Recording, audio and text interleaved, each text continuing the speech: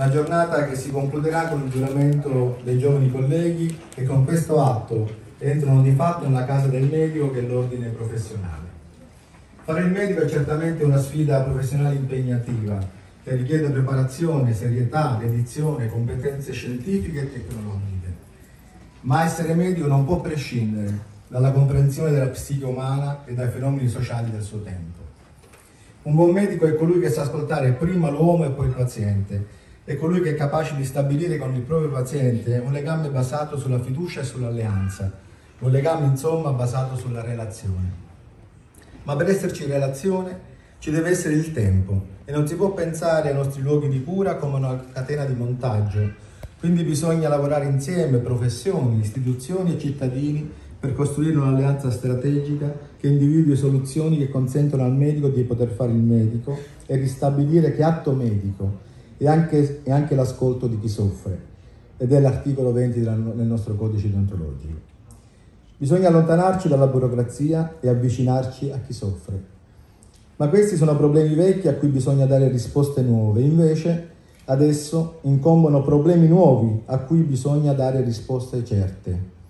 Questioni come la competenza, l'autonomia, la responsabilità, che sono fortemente intrecciate e non ultimo riconoscere dignità al ruolo del medico. Durante la pandemia siamo stati chiamati eroi. Noi non ci sentiamo eroi, ma non vogliamo neanche vedere le nostre competenze umiliate da una scorretta programmazione del sistema sanitario nazionale. Riguardo alle competenze, oggi la grande sfida è riuscire a dare all'equipe una visione dinamica e non statica. Il punto d'equilibrio sta nella capacità di collaborare con un'unica finalità, la qualità del percorso di cura per il paziente. Un percorso che è centrato sui bisogni della persona e attorno ad essa ruotano i professionisti della sanità con le loro competenze e le loro responsabilità.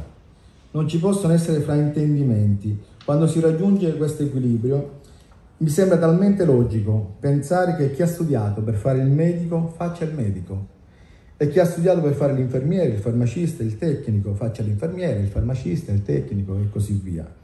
Se questo non si capisce, si rischia di danneggiare il cittadino, che invece non ha studiato per fare il malato, ma vuole essere curato e preso in cura da tutte le professioni cardini del nostro sistema sanitario. Vorrei ribadire che la nostra non è una professione tecnica per definizione, ma è una professione intellettuale. Per arrivare a una diagnosi bisogna fare un ragionamento clinico, bisogna conoscere i dati e saperli analizzare. Bisogna saper fare diagnosi differenziale perché ogni sintomo non ha scritto sulla fronte il nome della malattia. Bisogna avere la capacità di non curare la malattia ma il malato e custodire la sua salute come un bene prezioso. Tutto questo è un atto medico ed è insostituibile perché il medico per arrivare a questo deve studiare dai 9 agli 11 anni per poi continuare ad aggiornarsi per tutta la vita.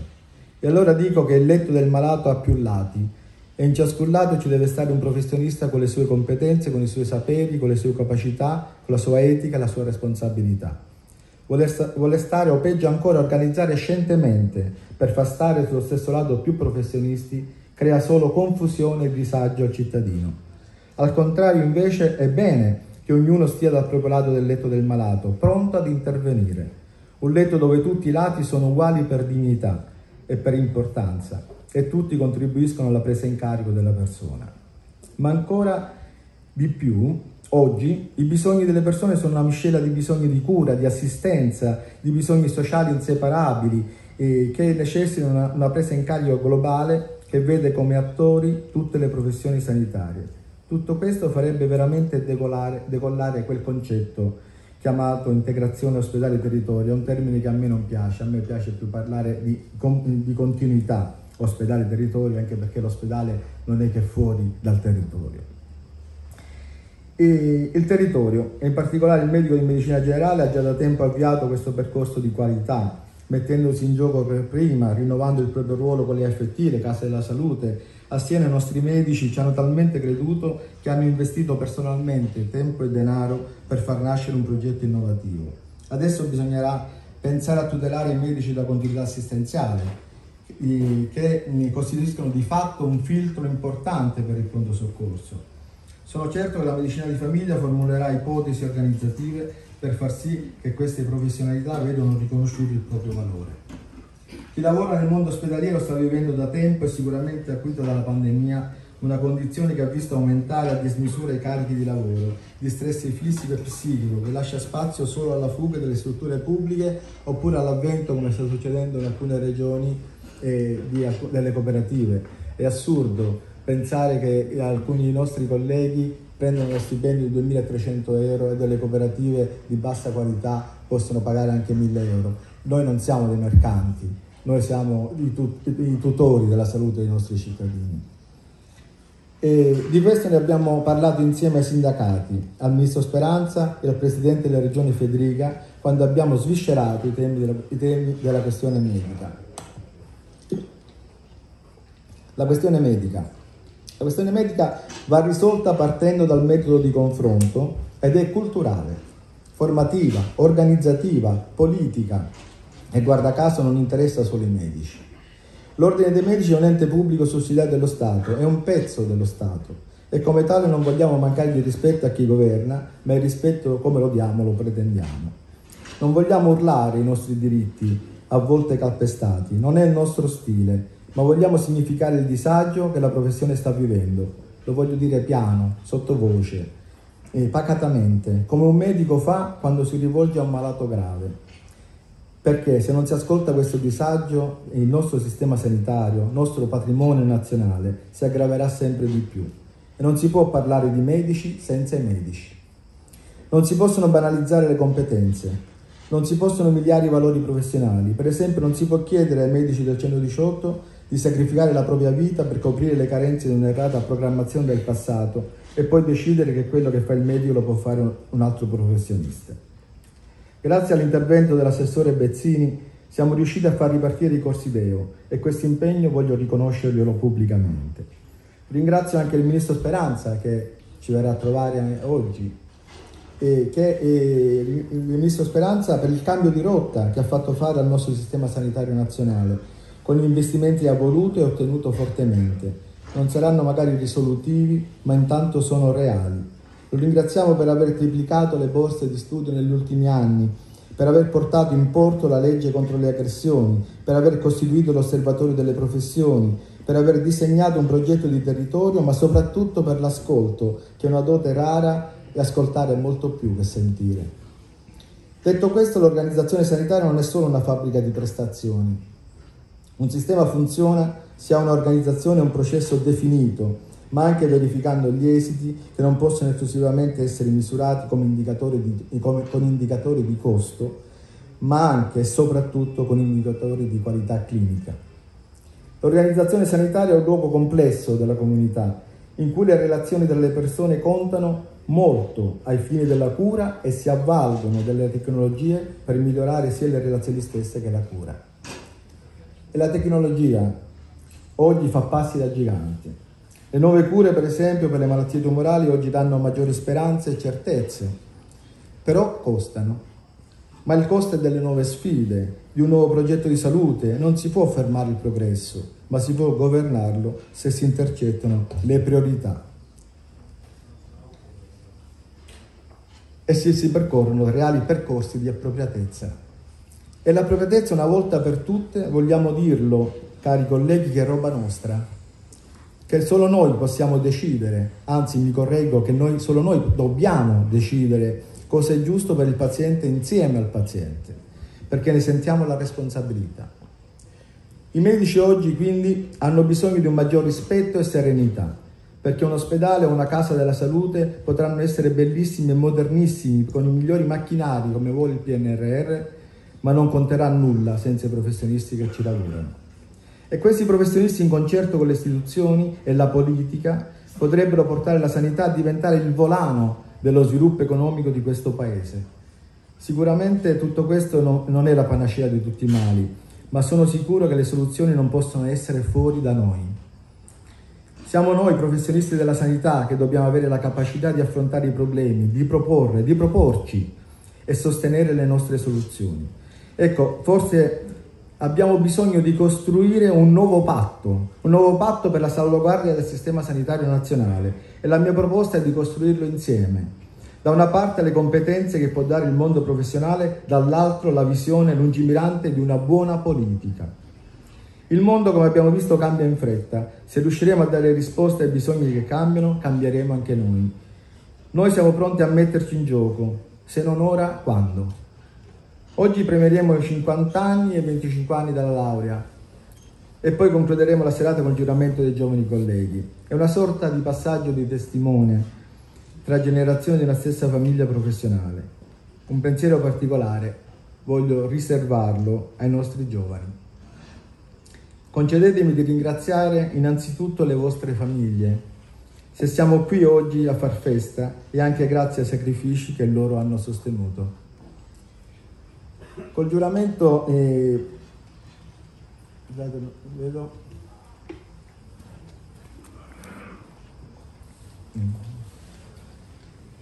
è arrivato il ministro, però va bene, buona. Col giuramento completerete quanto previsto dall'ordinamento. Abbiamo il ministro della salute, onorevole Roberto Speranza.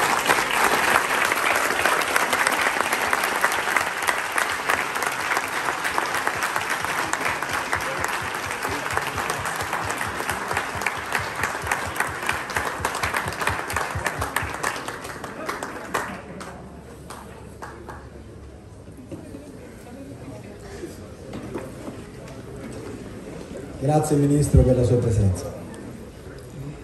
Col giuramento completerete eh, quanto previsto dall'ordinamento e dalle norme deontologiche ed entrerete a pieno titolo nella professione.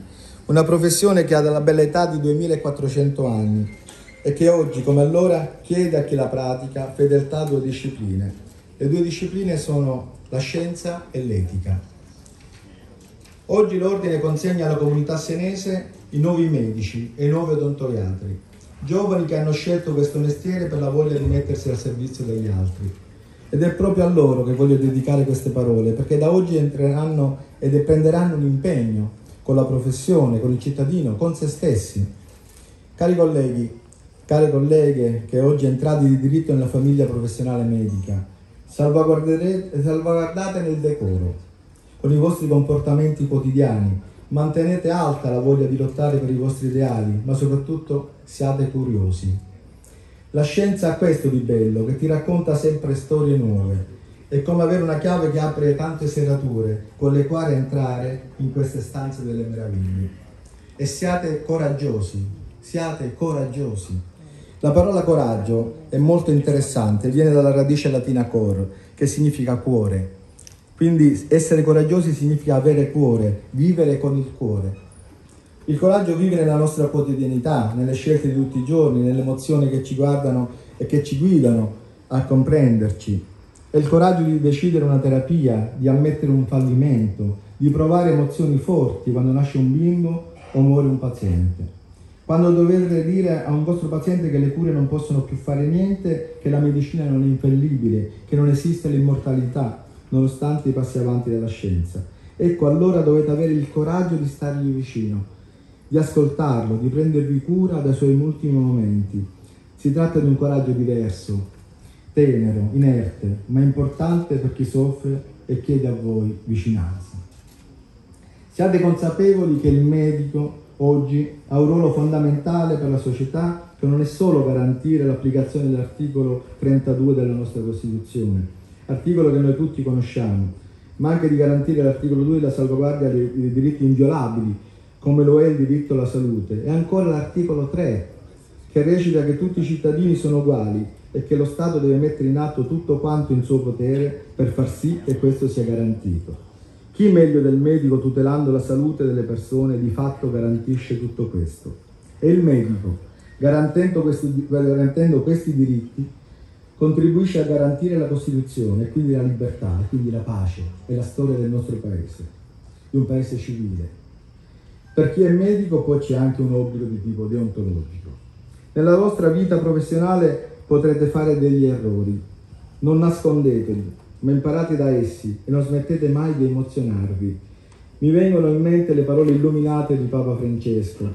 Usa le lacrime per irrigare la tolleranza, Usa le tue sconfitte per addestrare la pazienza. Usa i tuoi errori con la serenità dello scultore. E infine, usa gli ostacoli per aprire le, la finestra dell'intelligenza. E molto, ma molto più modestamente io vi dico ricordatevi che il camice che indossate quando visitate una persona lo portate tutta la vita. Non sporcatelo mai per falsi traguardi e se proprio dovete sporcarlo, sporcatelo con la polvere che fanno i sogni. Continuate a sognare.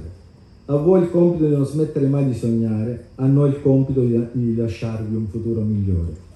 La scommessa per tutti noi medici è continuare a crederci, a credere ad un'idea di futuro da condividere con chi è sulla nostra lunghezza d'onda, con chi si relaziona come noi tutti i giorni con certezze e speranze, con chi come noi ha la capacità di coltivare la cultura del dubbio e coltivare quella curiosità che ci spinge verso la ricerca, verso nuove cure, verso nuovi orizzonti, dandoci nonostante tutto e tutti la forza di tornare a desiderare con umiltà, ma allo stesso tempo con la consapevolezza, che la medicina vera risiede nella nostra storia, nella relazione medico-paziente, con la consapevolezza che non c'è medicina senza medici, che non c'è sanità senza medici, che non c'è tutela della salute senza i medici. Grazie e benvenuti a tutti.